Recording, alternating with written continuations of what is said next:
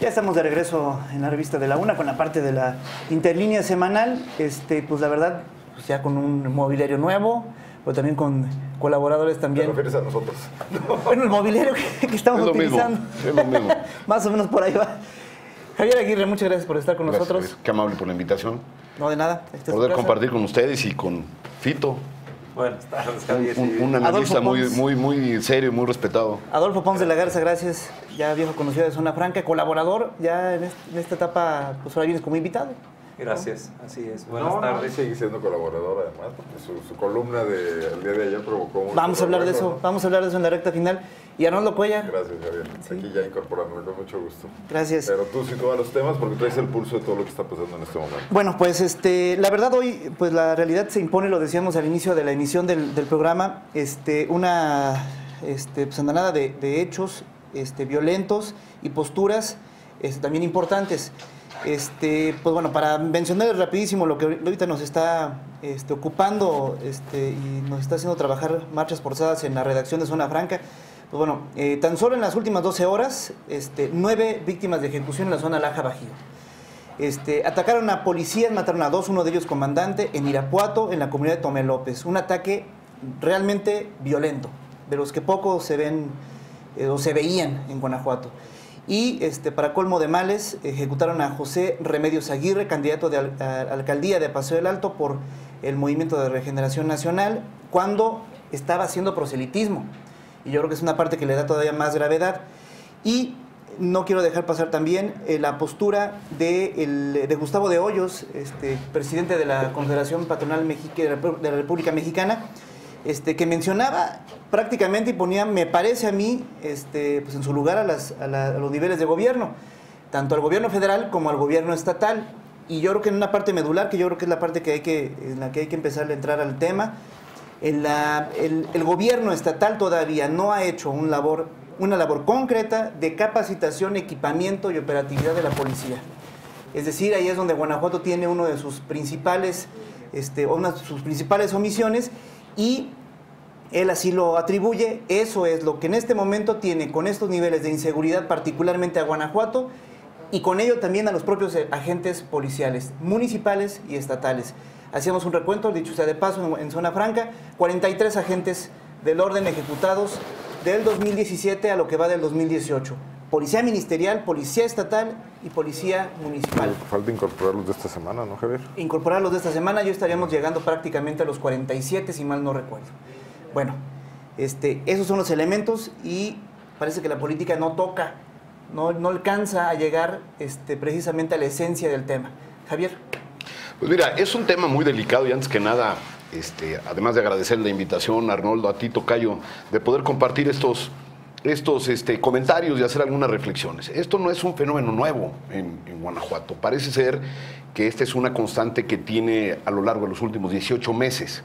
Desgraciadamente está tocando ya las fibras de los, de los políticos y los partidos políticos en el Estado. Yo veo muy complejo, porque además así lo venimos manifestando desde el inicio de la administración, el eh, presidente Peña, al inicio de la administración a nivel federal, convocó a los distintos partidos políticos a firmar un pacto de civilidad, lo cual implicaba también en uno de esos capítulos, que no recordamos, el tema de la seguridad finalmente, ¿no? el, tratar de convencer, exhortar a todos los partidos a que se involucraran en una problemática, porque no necesariamente tiene que ver en el ámbito exclusivamente gobierno, sino es un ambiente de- es un tema del ámbito político y en este caso político electoral. No, el gobierno federal aquí en Guanajuato, eh, estando yo al frente de la delegación de la Secretaría de Gobernación, hace cuatro años aproximadamente, fuimos el primer estado en firmar un, un pacto de civilidad, que le llamamos así, donde por primera vez en muchos años estuvimos sentados a la mesa tanto representantes del gobierno del estado, el gobierno federal y los partidos políticos. Y déjame decirte que yo viví en primera persona, eh, fui testigo y además promotor de que este pacto se renovara hace un año aproximadamente, con la idea de ver esta situación del ámbito de la seguridad. Y finalmente a mí me llamó mucho la atención que el gobierno del Estado hiciera caso omiso, que no quisiera asumir una responsabilidad en primero volver a sentar a los partidos políticos para el tema. Y eso dejó pasar no nada más esquemas de estructura, de organización, de promoción de la propia elección en su etapa preelectoral, digamos, de organización previa, sino que también nosotros tratábamos de convencer a las autoridades del Estado de que se involucraran en este tema porque implicaba básicamente trabajar en su origen.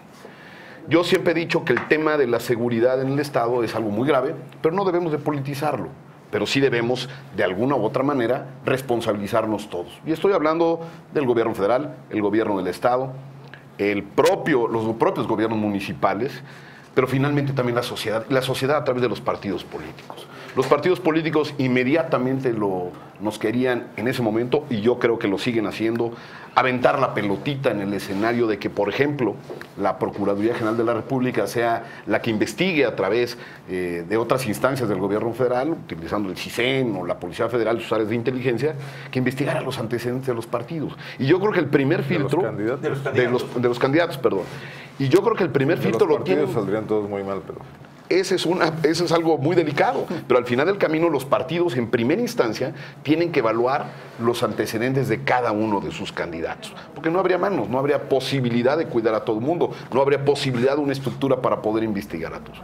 Entonces yo creo que es un tema de todos, Tocayo, es un tema que, que no lo podemos dejar a un lado. Y desgraciadamente hoy toca Guanajuato ya, como lo ha tocado en muchas entidades de la República.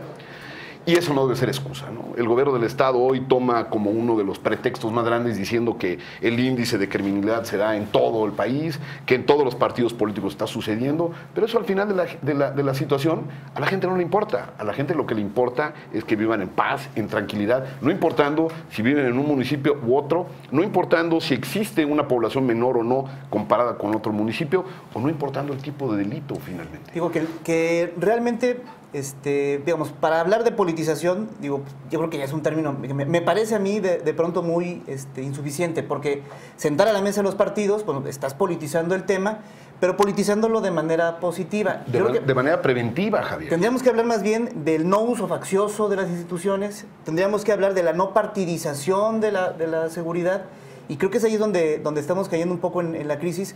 Este, Fito, seguramente tú lo observaste cuando Miguel Ángel Osorio Chong vino a, León este, y prácticamente le reviró a Miguel Márquez. Este, a ver, este, lo único que está haciendo es obrar en contra suya. El gobierno federal se reunió y entraron ahí en una polémica sobre las circunstancias que ocurrían incluso dentro de los grupos de coordinación, dentro de las reuniones que había dentro de, la Secretaría de, Gobernación en cuanto a si Márquez le había reclamado o no la participación del gobierno federal, a que si este, le había puesto o si le había reconocido la participación de Pemex, que me parece que al final este, nos quedamos igual, vamos, y fue realmente un asunto que no llevó a ningún lado. Fíjate que es, es verdad, vino a poner este, el dedo en la llaga, donde duele, tan es así que vimos la reacción de parte del gobierno del, del Estado en, en todas sus, sus, magnitudes, ¿no? Se generaron amplísimos boletines de prensa. No, un, boletín, un boletín de cuatro de páginas cuatro que páginas, es inusual, ¿no? ¿no? Sí, o sea, sí. y, y, reacciones del procurador, y reacciones de uno, y reacciones del secretario, del, gobierno, ¿no? del vocero, del secretario de, de gobierno también, este todo el mundo le reaccionó porque vino a poner... Miguel Márquez andaba en Europa. Y además con eso, este, teniendo al gobernador fuera del Estado. Fuera del Estado. Entonces, no aclararon nada de la realidad, nomás le contestaron a Miguel Ángel. Bueno, había que contestarle porque es lo que dicta el, el librito. Sí. Pero la, eh, aquí lo que ya tenemos este, que tomar en cuenta es eh, no el hecho de si eh, licenciado eh, Osorio Chong tiene o no tiene eh, la razón, si hizo o no hizo. Y yo no tengo, si es del, gobierno federal o es del gobierno municipal o es del gobierno del Estado. Aquí lo que ya tenemos que empezar a ver es eh, que cada vez la escalada de, violencia y los alcances han sido mayores. Y hoy llega a tocar un punto con el asesinato de un candidato en, en pleno proselitismo electoral, donde va a cambiar la relación de lo que es las campañas políticas. Y va a cambiar lo que es la relación de la violencia en el estado de Guanajuato, porque ahorita sí ya es una violencia dirigida a, políticamente. Mm. Eh, anterior pudiéramos es, escudarla, como un tiempo lo, lo, manejó tanto el procurador como el gobernador, de decir, se matan entre ellos, ¿sí? y esa ya se acabó ese, ese pretexto también.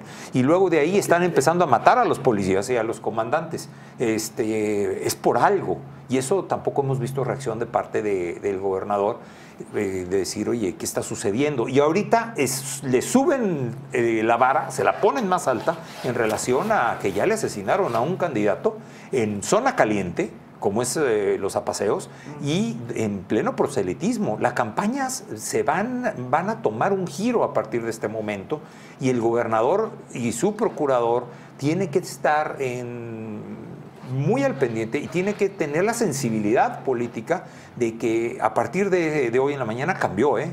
Ya cambiaron las campañas, cambió el ofrecimiento. Entonces, el pedir que no se politice eh, la inseguridad es como decirle, vamos a tapar el sol con un dedo. Es una barbaridad. Es una, es, O sea, el, el gobierno de Guanajuato, eh, bueno, perdón que te interrumpa, eh, realmente lo que no quiere es hacerse cargo de lo que está pasando. Es una negación persistente de lo que está pasando. por eso decía, es, es tra- tratar de tapar el sol con un dedo. Hay que politizarlo. Pero Sí. esa se me hace una figura retórica que, que ni siquiera va porque hay una irresponsabilidad, ¿no? Exacto. Hay una irresponsabilidad total, o sea, una cosa es negar la realidad en tiempos de tranquilidad, en lo que... Mira, voy a poner un ejemplo.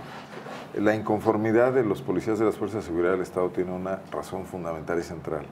Dicen ellos, ya no podemos andar de dos en dos con vehículos mal equipados y en mal estado, porque si nos Sin persiguen... radios y sin, sin O sea, armas, sin nada, digo. por no hay un cambio de táctica, No. no, tampoco un cambio de estrategia. En Irapuato está muy claro que la violencia que se acumuló esta semana con la muerte ya de tres policías Sí.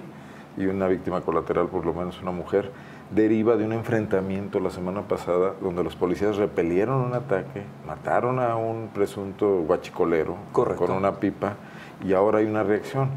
O sea, si esto ya es una guerra, digo, por- tácticamente parece que lo es, tú no puedes eh, no eh, prever que después de una acción hay una reacción. Que los policías, el hombre, el policía que salió de trabajar esta- a principios de esta semana, que lo matan en el puente de Guadalupe en Irapuato, iba solo. Él había estado en la acción donde murió un guachicolero. O sea, ese hombre debía haber recibido una protección. Claro. En una corporación seria, con mandos, con tácticas, con, con una capacidad de reacción, no puedes dejar que las... como si no hubiera pasado nada. Y eso viene pasando en lo policial y en lo político. O sea, Márquez sigue haciendo de cuenta lo que dijo, de que él ya había hecho lo que había podido y que es una enorme irresponsabilidad, porque tú gobiernas seis años completos, de un 26 de septiembre a otro 26 de septiembre. Y si las circunstancias cambian, si mañana el dólar sufre una baja y la industria en Guanajuato sufre consecuencias, el gobierno tendrá que hacer algo, tendrá que tener una respuesta. No puede decir, no pasa nada. Mira, aquí ¿No? Yo, yo- lo veo, lo está haciendo. yo lo veo en la misma línea, pero todavía me iría más al fondo. Esto es una eh, responsabilidad que se está eximiendo el propio Miguel Márquez desde hace años. Ya ha puesto todos los pretextos del mundo, ¿no? ¿Qué si la ley? ¿Qué si la falta del apoyo del gobierno federal? ¿Qué si la, la responsabilidad de terceros? Finalmente se lo ha dicho toda la sociedad, se lo ha dicho no nada más el gobierno federal, organizaciones civiles, los propios partidos políticos, las cámaras empresariales. Bueno, hemos llegado hasta el extremo de ver cómo el gobernador le echa la responsabilidad a efectos externos o internacionales. Ya no diga lo nacional, pero el asunto al final del camino es que se repite ese escenario en un estado donde prácticamente se vuelve el único gobernador que no reconoce que él tiene liderazgo en materia de seguridad. El grupo de coordinación se integra por autoridades federales y por autoridades estatales, pero al final del camino el propio ejército, el general secretario, se lo vino y se lo dijo, y siempre toma de pretexto alguna razón. Así es. Esa situación de decir, y perdónme, pero es como si ya aventara el arpa, eso de decir que yo ya hice todo lo necesario, bueno, pues se me hace algo realmente patético. Ahora, y viene el, el factor, perdón, también, y hay que evaluar. Y, y esa es una cuestión también de los analistas políticos que realmente debemos de entrar a profundidad. Es uno, un escenario también de una provocación de desestabilización a nivel nacional. Sí, claro. No es el único municipio que tenemos, no es el único estado que está metido en ese tema. Y casualmente, finalmente, hoy, ante el crecimiento que tiene Morena, y yo creo que eso le da a dar paso aquí al señor Cuellar de que empecemos a hablar de política, ante el crecimiento que tiene Morena, Ahora hay temas de seguridad. es el finalmente, el finalmente el primer candidato que se ve afectado en este sentido. Les, plan- les planteo algo, dejamos que Fito cierre tu idea porque andabas ahí. Eh, no, y yo lo único, final. lo único que yo no quisiera ver es en, en relación a Márquez ahora es que el gobernador pretenda deslindar su responsabilidad aventando y diciendo, eso es un tema municipal ahora. O sea, yo ya me salgo, anteriormente era federal, ¿sí? Ahorita ya estamos eh, inmersos en aspectos netamente dentro de una estructura de seguridad a nivel este, eh, municipal. Sí lo va a hacer. Sí. Va a decir que el procurador investigue. Y, que el- y ahí... O sea, no va a llamar a una mesa con los partidos para tomar decisiones políticas. Yo no lo veo haciendo eso en este Ahora, momento. ¿qué pasó Ni con su el- secretario de gobierno. ¿Y qué que- pasó que con- está subordinado a la actuación Samarripe de Álvar. ¿Qué pasó co- con el mando único? Le ha sacatado, eh, eh, se ha tratado de, de- de eximir de la responsabilidad del dictamen del mando único. ¿Sí? Pero que además en la práctica, Fito, no funciona. No. Y no funciona porque el gobernador no permite que funcione. Por eso, esa es lo que yo voy. o sea, Ha habido cambios en los mandos militares, por ejemplo, el anterior, el general Díaz Organitos, tuvo una actitud de mayor este, proposición, de mayor protagonismo también. Estuvo y, activo, sí. y en ese momento lo pararon. ¿Lo paró? Y entonces, ¿sabes qué? ¿Pidieron su cambio de aquí? Pidieron el cambio. Eso es lo que se dice en el rumor. Yo no estaba en funciones como para conocer. Esto fue hace escasos mes y medio. Pero lo que se sabe finalmente ante la opinión pública es que el propio mando militar este, fue removido por instancia de la, Eso, eso nos lleva, eso nos lleva al siguiente tema. Este, a ver, eh, hablaba Arnoldo precisamente de lo que ocurrió en Irapuato. Y yo veo un, un- un, este, un esquema de repetición. Eh, cuando surgen estas molestias, estas manifestaciones dentro de la policía estatal, la respuesta, puertas afuera y puertas adentro, porque creo que fue prácticamente este, consecuente con, con sus dichos, Álvaro Cabeza de Vaca este, desestimó primero la protesta. Después prácticamente llegó a niveles de criminalizarla. Y lo Primero que- la invisibilizó y la negó. Primero, entonces, la, la, este, la postura que mostró, a final de cuentas, fue prácticamente negando, tratando de tapar, tratando de este, desestimar y descalificar lo que los policías nos estaban diciendo a los medios de comunicación de viva voz.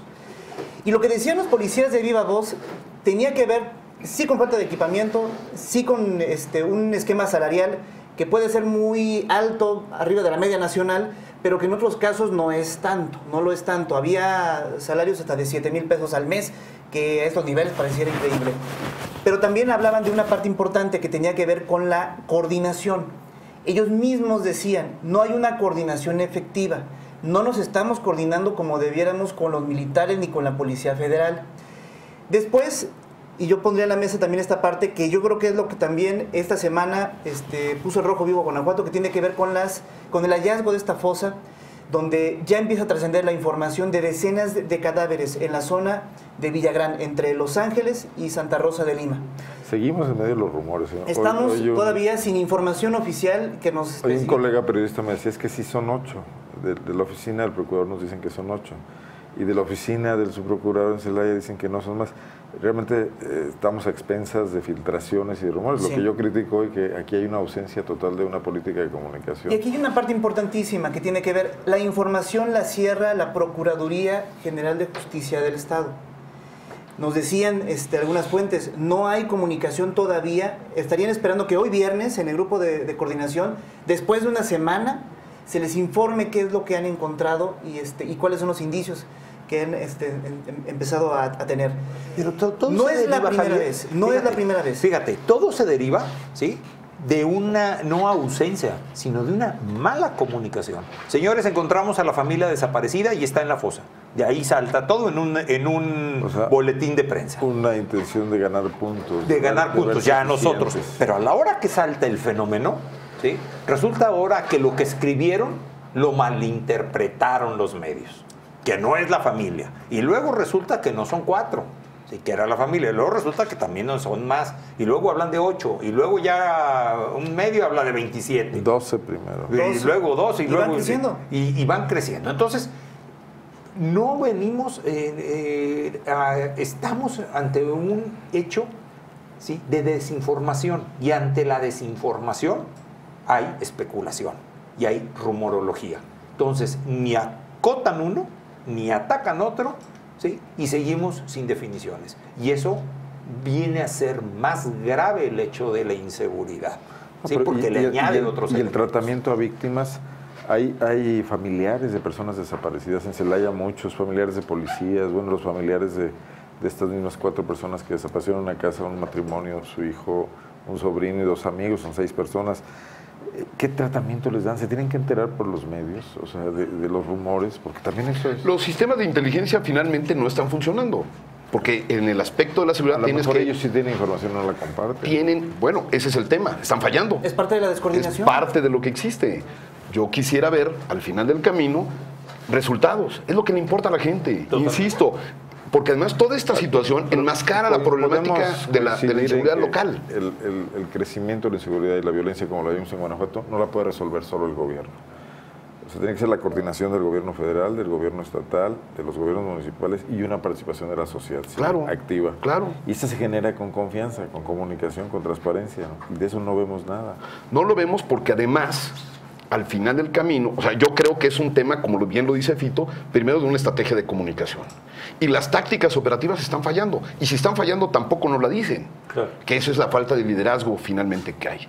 Y no nada más estoy hablándote de los partidos políticos, como lo dice Arnoldo. Yo siempre he mencionado que las organizaciones ciudadanas, las organizaciones empresariales, podemos hacer muchas cosas, empezando a, de- a denunciar, empezando por la denuncia. Hay muchos delitos que no se denuncian o la propia autoridad enmascara la, la- la situación del gran delito, del delito mayor, con el delito menor, que finalmente también es el que vive la gente.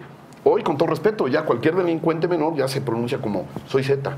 Lo estás viendo en el caso de la extorsión telefónica. Y entonces eso provoca mayor, mayor nivel de terror. ¿no? Así es. Y una suerte de des- desorientación todavía de los, del- de, los, de los niveles de gobierno. Yo insistiría en que este, esta forma de cerrar la información, este, en, tiempos en los que se ha pugnado por esta coordinación interinstitucional, pues no se puede entender. Digo, creo que no es la primera vez que ni la Secretaría de Seguridad Pública del Estado ni la Procuraduría General de Justicia cierran la información ante un operativo, ante el hallazgo de algún cuerpo. Este, digo, si finalmente el argumento es que la gran mayoría de, los, de las ejecuciones son del crimen organizado, pues yo no entiendo entonces qué hace la Procuraduría General de Justicia cerrando prácticamente, incluso bajo resguardo, la zona en la que están encontrando estos cuerpos. Yo creo que es una parte importante, pero además, este, lo mencionaba Arnoldo antes de entrar al aire, este, los partidos políticos en tiempos electorales pareciera que no están llegando a esa médula. Vamos, es difícil, es difícil que los escuchemos hablar, este, a excepción de este caso de Apacio Alto que a Morena le, toca de cerca, hablar de cosas concretas, hablar de situaciones concretas que están viviéndose en Guanajuato, pero además de cómo se estarían atacando concretamente. Se sigue hablando en términos de seguridad de, de- de forma muy demagógica, este, de forma muy abierta, eh, sin tener una certeza de qué es lo que vamos de qué es lo que se va a hacer cuando si alguno de ellos queda electo como diputado, como alcalde o como gobernador. Este, yo creo que es en esa parte discursiva, Fito, este, creo que nos queda mucho a deber, ¿no? Demasiado, ¿no? El quien más ha puntualizado el tema en, en el caso y por su propia experiencia, por su propia naturaleza, sin embargo, es Luis Felipe, Felipe. Arturo Camarena, ¿sí? Pero él, bueno, él fue procurador, él, él entiende, él sabe y ha hecho tres, cuatro puntualizaciones.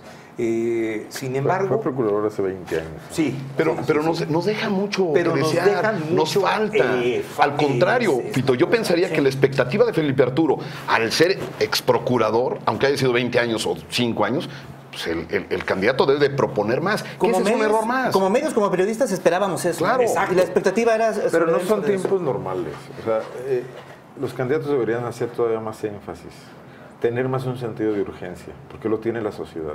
Hoy la noticia del asesinato del candidato en Apaseo es la portada, en este momento es la portada de los periódicos más importantes de México. Es una noticia nacional. Guanajuato vuelve a subirse en el foco. Sí. Y ningún candidato de Guanajuato está hablando de eso. Y no se ha manifestado. Digo, Sheffield porque le tocó encima y salió con un tema pues, un poco de reacción política y culpar a Márquez. Pero bueno, debería pararse un minuto, reflexionar y plantear algo que vaya más allá, hasta para darle un mensaje a su propio partido y a sus propios candidatos de cómo van a reaccionar. Eh, Felipe Camarena ha tocado el tema como el experto que sabe, pero que no se ha puesto a hacer un plan detallado.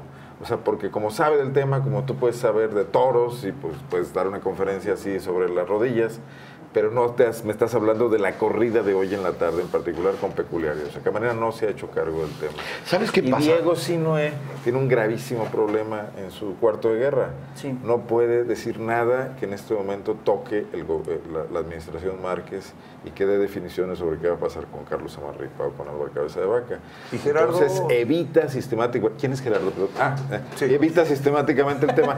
Gerardo Sánchez salió con ese spot De los- absolutamente machista donde cree yo que- tengo pantalones. cree que con pantalones va a resolver el asunto. Yo, yo creo que ese candidato que sea anecdótico. Sé que ustedes conocen muy bien al PRI, pero me parece de lo más banal y pueril una postura de ese tipo. Tampoco se está haciendo cargo de nada. O sea, ninguno. Yo, yo creo que el tema de los partidos políticos en este y en muchos temas, prácticamente en todos, es que nos están debiendo mucho a la ciudadanía. La verdad, Estamos, no estamos... están debiendo mucho. No. Están ausentes, están alejados. La expectativa es muy alta versus lo que están haciendo. Y yo no nada más lo digo a nivel institucional, lo Se- digo a nivel se- personal como candidato. Se deben a sí mismos. Exacto. No, digo, el PAN que Arnoldo, gobierna este estado 25 años y que tiene la información de lo que 27. está pasando, se debe mucho a sí mismo si no tiene una sola propuesta para atender un, un momento de emergencia. A ver, llega el médico a atenderte, estás en, en casi en coma, tirado en la cama y te dice, tómese dos aspirinas, regreso mañana. Claro, claro. No es. Javier, Mira, yo lo veía en ese sentido, por ejemplo, en la movilidad que tienen los candidatos. Pareciera, y está a la inversa, de verdad es, parece kafkiano. El único candidato que está saliendo a la calle, que está haciendo campaña, que hace eventos, que recorre, y con todo respeto al priismo a, este, de, de- de- de anteriores épocas, pues Diego si no trae matracas, camisetas, todo. Lo ves en el análisis del presupuesto que se ha gastado, se ha gastado la mitad del presupuesto que tiene ya hoy.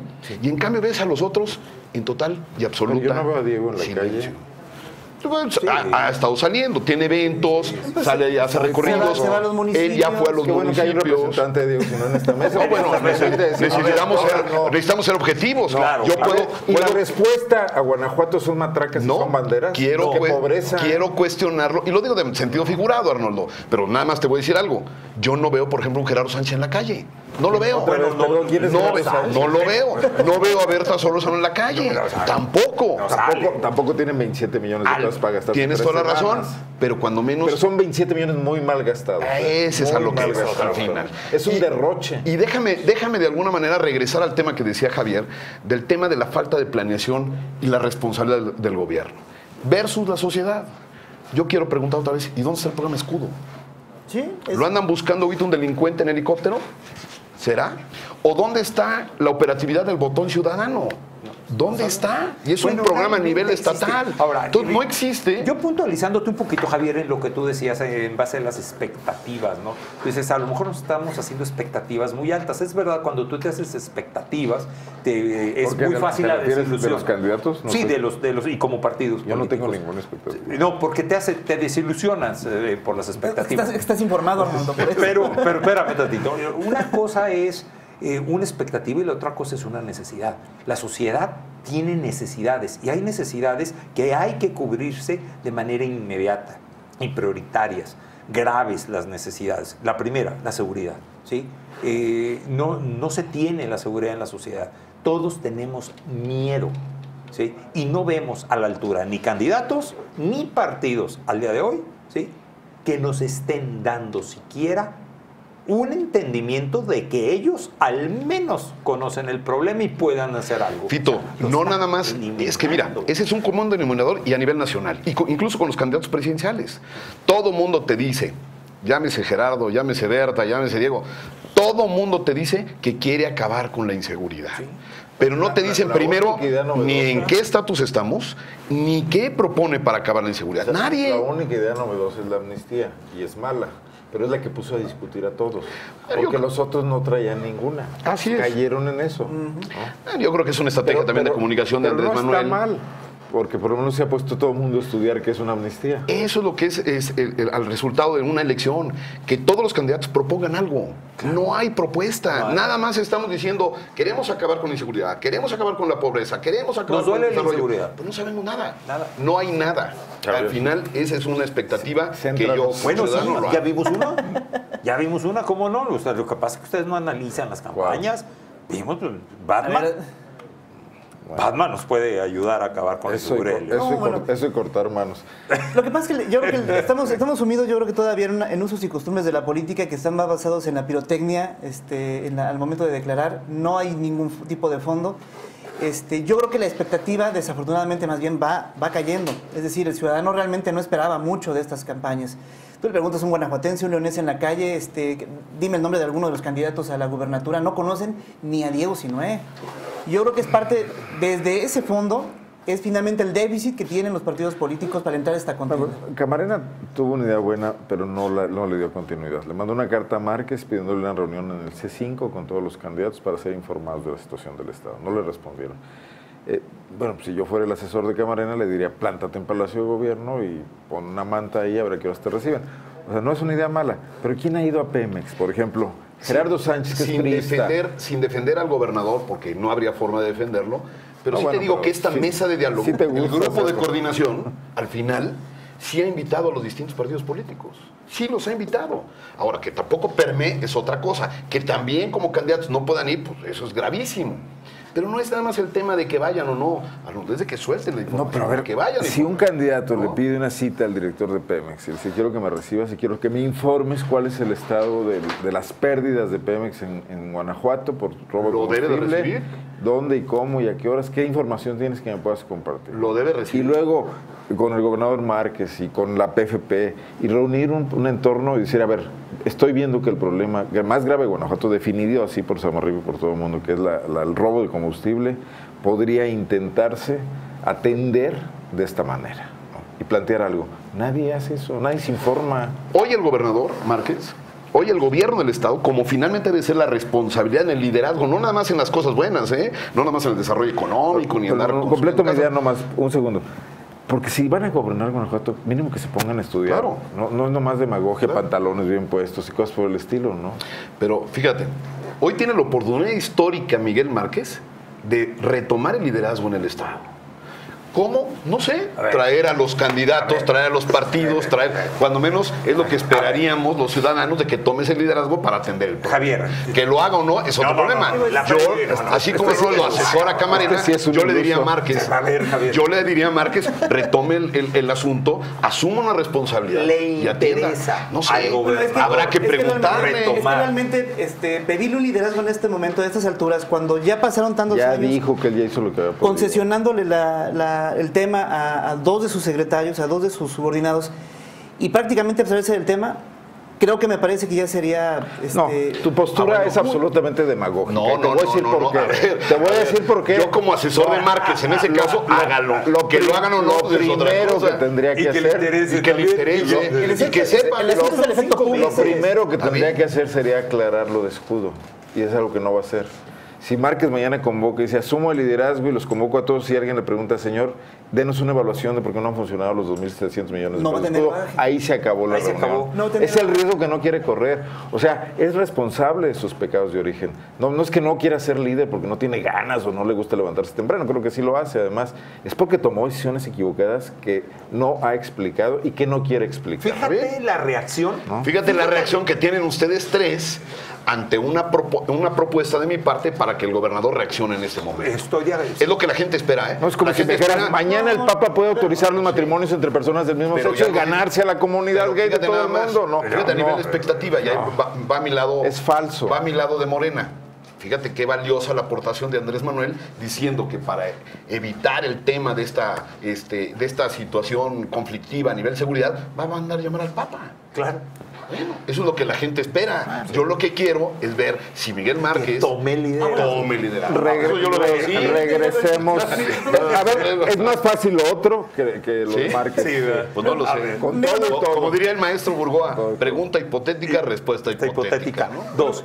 Son cinco meses los, los que le quedan realmente ya a, a Márquez. Está pensando él ya en salir, en aventar el. Pero ha hecho intentos arpa. además de irse antes. Eh, Total, sí, pero no le ha salido. Y ahora, ya no más le quedan. ¿Ya para qué me meto en un problema que nunca tuve el control, ni me interesa tener el control, y menos abrirlo? A ver, Márquez Entonces, lo que ¿para qué está voy? pensando es en concesionar carreteras y en hacer negocios. Eso es lo que está pensando. ¿Tú crees que le importa la seguridad? Debe de importar la vida de todos los guanajuateños. Bueno, pues no le ha Yo lo exhorto a que lo haga. Es el principal problema en, en el Estado y no lo atiende.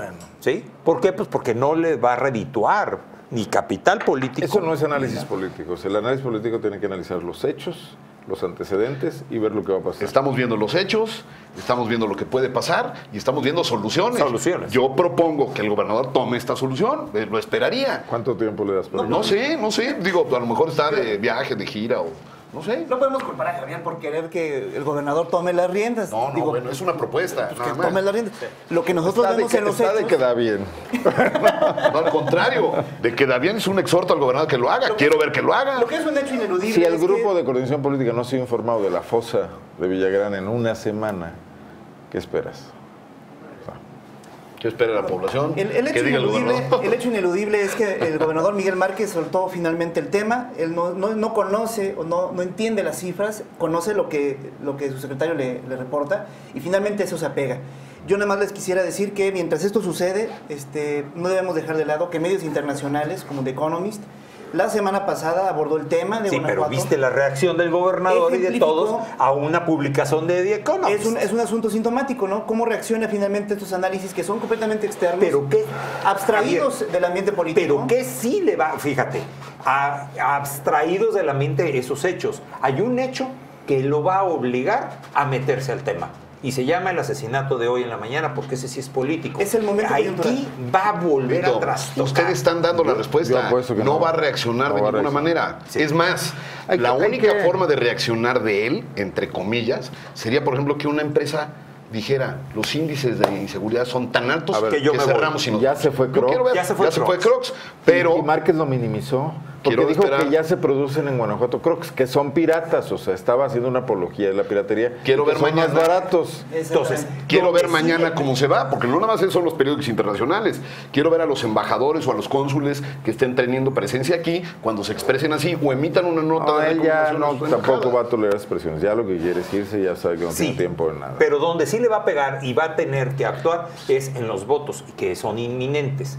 Ahí sí, porque ese es lo que le va a afectar. Entonces, ¿qué va a suceder? ¿Quién viene en segundo lugar? ¿Sí? Ricardo Sheffield con el 25-26% de las preferencias. Mentira. Con- contra 41-42 de Diego.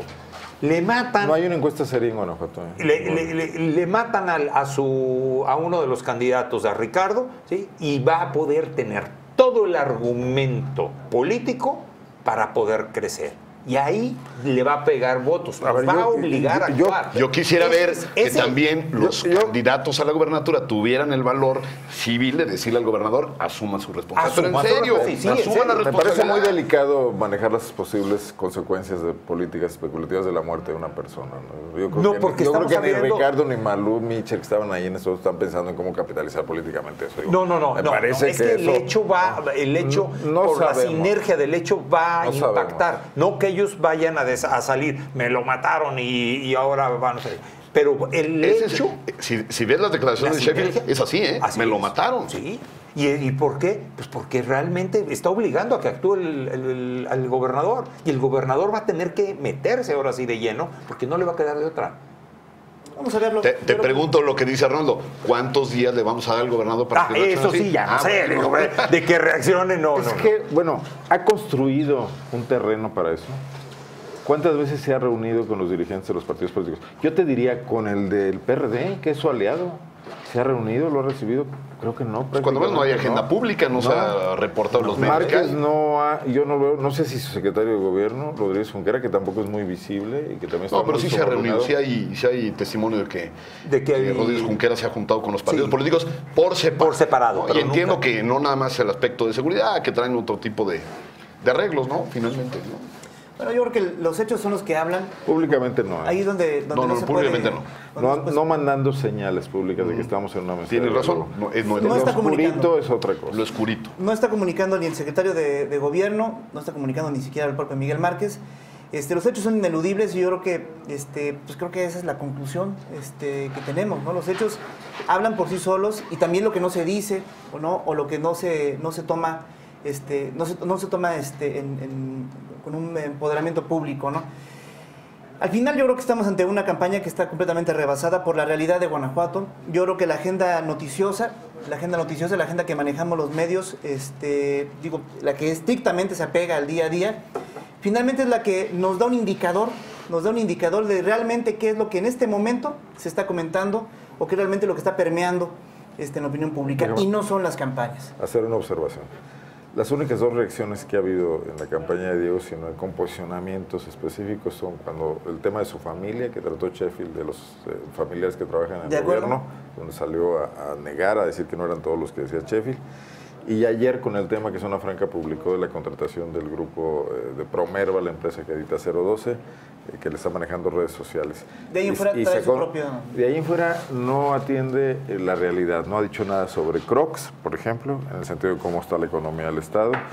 No, no sé si a este momento ya se pronunció sobre el asunto de Morena, que sería importante también. Digo, es el candidato que le puntea las encuestas, del partido que gobierna el Estado, el que lleva un liderazgo, el que ha gastado más dinero, el que tiene la necesidad de construir una imagen pública para empezar a, a, a generar algo diferente a, a, al PAN gobierno de 27 años y a Miguel Márquez, que es un poco eh, su, un golpe de timón. su origen. No se le ve hasta este momento. El destete natural del candidato, ¿no? o sea, tiene que eh, haberse, porque aparte es sano y es necesario Tito, siempre en campaña. Estamos hablando de que faltan 50 días para la elección. Correcto ya debe haber sido desde hace mucho tiempo. Sí. Yo creo que es un error gravísimo porque ese Combínalo a que lo haga. Pues, con, hay, que, hay que hacerlo. Vamos a combinar a nuestro amigo Diego Sinue a que lo haga, que lo provoque. Digo, aquí es cosa de provocar a todo mundo también que lo haga, ¿no? Sí. Pero es natural, es normal que, que suceda en todas las campañas políticas. Ya se sucede, tardó, ya se tardó. Sí, se está muy... Depende de la personalidad del candidato también. El Colosio lo hizo muy rápido, bueno, así y le de, fue. y de su cuarto de guerra también. Mid no lo ha hecho de Peña. No, pero lo va de, su cuarto de guerra también, Arnoldo. Un candidato tiene que ser candidato, pero hay mucha gente pensante. Por ejemplo, Fito este, es un analista político y anda asesorando por ahí un partido político que no quiero decir, pero tú eres el que promueves y el que asesoras y el que dices, bueno, realmente cumplir tu rol, ¿no? El cuarto de guerra tampoco le dice nada. Este, yo creo que la conclusión está más que mencionada, la hemos estado repitiendo. Todo abierto. Queda abierto el debate. No, está, okay. Es importantísimo que, que se armen. Este, pues bueno, yo creo que. Eso habla de la libertad de expresión aquí en Zona Franca. Por supuesto, lo que sea, ¿no? Sí, corre, y ya corre como directo. somos agentes libres, podemos decir lo que pensamos con toda libertad. Afortunadamente. Y respeto, eso, eh, respeto, eh. Por eso, como decía Arnoldo, no podemos estar jugando con el fallecido de hoy en la mañana. No, no, no, no, no, duele. No, y desde luego es, es un asunto muy, muy grave. Ya había habido un aviso en Yuriria en una balacera a unos metros de un mitin de un candidato panista. Tampoco se tomaron bueno, medidas, tampoco se dijo nada en ese momento. Eso es importante también mencionarlo. No es el primer asesinato de un político en Guanajuato, por lo menos en lo que va del, del gobierno de Miguel Márquez. Y en esta campaña no es el primer hecho de violencia. ¿Sabes, no es el primer ¿sabes hecho de qué va, qué, cuál va a ser su, le, la primera reacción? Me atrevo a poner este, ya sobre la mesa cuál va a ser la primera reacción del, del gobernador ante el hecho de hoy en la mañana. Les va a mandar escoltas a todos los candidatos. No, no pues con, con el clima que hay en las fuerzas de seguridad pública. No, esa sería, una trastada, esa sería una trastada para la ciudadanía en general. No, no. Porque al final de cuentas. A ellos sí, que, pero nosotros no. Exactamente. Sí. Pero bueno, vas a ver. Vamos a estar a la expectativa, Fito. Te agradezco mucho la participación en el Interdía de esta semana. Muchas gracias. gracias. Ya nuevamente como colaborador, Javier. Gracias, Tocayo. Gracias. ¿Sí? Y Arnoldo. Justo, esperemos todo a tiempo la llamada. Esperemos que. Muchísimas gracias, Gabri, y gracias por la gracias. conducción hoy del programa. No por nada. Y a usted, sobre todo, que estuvo con nosotros desde este momento. Muchísimas gracias. Nos vamos a este fin de semana. Manténgase bien informado, sobre todo, y estaremos aquí haciendo el esfuerzo para informarle lo que ocurre minuto a minuto. Mi nombre es Javier Bravo, gracias a nombre de todos los que hacen posible la revista de la UNA. Gracias, pásela bien. Nos vemos el día lunes.